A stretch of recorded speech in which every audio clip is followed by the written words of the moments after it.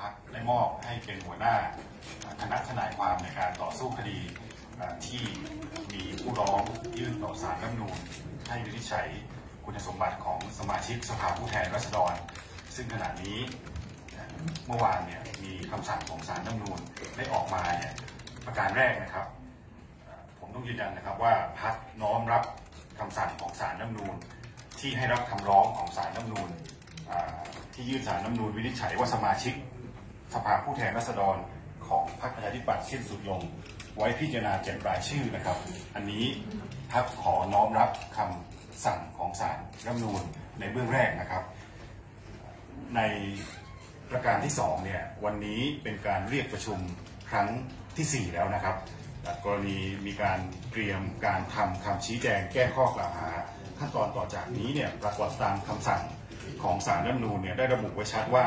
ผู้ถูกร้องคือสสของพรรคทั้ง 7 คนเนี่ยให้ทำคำชี้แจงแก้ข้อกล่าวหา ยื่นต่อศาลภายใน 15 วัน นับแต่วันที่ได้รับสำเนาคำร้องนะครับ อันนี้เป็นรายละเอียดของคำสั่งเมื่อวานนะครับ เมื่อของคณะทำงานซึ่งมีทีมทนายอีกเจ็ดท่านนะครับ ก็ได้มีการประชุมเพื่อกำหนดยุทธศาสตร์ในการต่อสู้คดีทำคำชี้แจงแก้ข้อกล่าวหา ซึ่งผมก็ได้แถลงก่อนหน้านี้แล้วว่าเราได้เตรียมไว้ค่อนข้างละเอียด และก็ไม่ได้มีความหนักใจในเรื่องรายละเอียดของคดีนะครับว่าจะต่อสู้ทั้งมีพยานบุคคล และก็พยานเอกสารทั้งหมด ซึ่ง 7 คนที่มาประชุมวันนี้เนี่ยก็ยืนยันตรงกันว่าไม่ได้มีการประกอบกิจการ หรือถือหุ้นในกิจการที่เป็นลักษณะของสื่อสารมวลชนนะครับ อันนี้ก็ได้เตรียมพยานหลักฐาน ค่อนข้างครบแล้วนะครับ ถ้าเกิดจะตีเป็นเปอร์เซ็นต์ก็ผมคิดว่าเราเตรียมการค่อนข้างครบร้อยเปอร์เซ็นต์แล้วครับอรอเพียงสำเนาคำร้องจากศาลน้ำนูญอ่าซึ่งคาดว่าจะยื่นมาประมาณวันสองวันนี้นะครับ ทีนี้สิ่งที่ผมต้องย้ำอีกประการหนึ่งเนี่ยกรณีมีคำให้สัมภาษณ์ของพรรคอนาคตใหม่ ในลักษณะที่บอกว่าแสดงทัศนคติเรียกร้องให้ศาล มีมาตรฐานเดียวกันในการวินิจฉัยเนี่ยผมยืนยันนะครับพักน้อมรับกระบวนการพิจารณาของศาลรัฐมนูญเพราะเราเชื่อว่านั่นคือกระบวนการที่รัฐมนูญและกฎหมายกำหนดไว้ทุกประการนะครับ ข้อเท็จจริง มาตราที่ใช้มาตราเดียวกันคือมาตรา 98 วงเล็บ 3 แต่กรณีของคุณธนาธรกับกรณีของ 41 สสที่ ศาลมีคำสั่งเมื่อวานนั้นเนี่ยกระบวนการตั้งต้นของคดีแตกต่างกัน ซึ่งอันนี้ผมจะไม่ขอก้าวล่วงนะครับ แต่ผมขอเรียกร้องพรรคการเมืองต่างๆ ว่า อย่ามีพฤติกรรมในลักษณะของการกดดันการปฏิบัติหน้าที่ของศาลน้ำนูนพักพร้อมที่จะทำคำชี้แจงแก้ข้อกล่าวหา สู้กันด้วยความจริงครับ เราคิดว่ามียุทธศาสตร์ในการต่อสู้คดีนั้นเนี่ยประการแรกแน่นอนนะครับ เราจะพยายามอธิบายต่อสู้ในหลักกฎหมายในเรื่องของเจตนารมณ์ของมาตรา 98 วงเล็บ 3 กรณีที่เป็นเจ้าของหรือผู้ถือหุ้นในกิจการที่เป็นลักษณะของสื่อสารมวลชนนั้นเนี่ยแน่นอนนะครับว่าโดยท้ายที่สุดแล้วกฎหมายมาตรานี้มีเจตนารมณ์ของกรณีป้องกันความได้เปรียบเสียเปรียบของคนที่จะลงสมัครสมาชิกสภาผู้แทนราษฎร ถ้าเกิดผมลงแข่งขัน เขตใดเขตหนึ่ง แล้วมีผู้สมัครเป็นเจ้าของกิจการของสื่อมวลชนเนี่ยแน่นอนอันนั้นคือความได้เปรียบ และผมก็เสียเปรียบ ฉะนั้นแล้วกฎหมายมาตรานี้จึงออกมาในลักษณะที่คุ้มครองให้ทุกคนที่ลงสมัครสมาชิก สภาผู้แทนราษฎรนั้นเนี่ยมีความเท่าเทียมกันในการลงรับสมัครรับเลือกตั้ง จะไม่ลงลึกมากนักนะครับ แต่ก็ต้องมีการ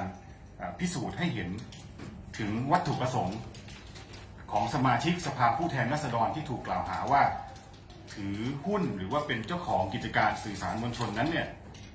วัตถุประสงค์แต่ละข้อ เราจะชี้แจงโดยละเอียดว่าถ้อยคำตามวัตถุประสงค์ในหนังสือบริคลสนธินั้นเนี่ยมี